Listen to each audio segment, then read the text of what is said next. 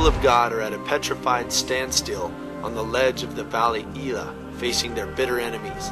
These men are literally being fed from their homes that are just beyond the borders of the battlefield. This is where we first meet David, a simple youth performing the ministry of feeding his brothers on the war front. Indeed, this was a chance opportunity. He usually spent all of his time laboring for his father's flock at home, but now was honored with the opportunity to go outside of his comfort zone and on to the warfront. We can see a correlation in this biblical example in our own lives. We faithfully tend to the flock of our church at home, but often we are requested to help in a battlefield elsewhere. Our fellowship is unique in and proud of our impact teams. The faithful at home reaching out to another church and assisting in an attack against the darkness of that city.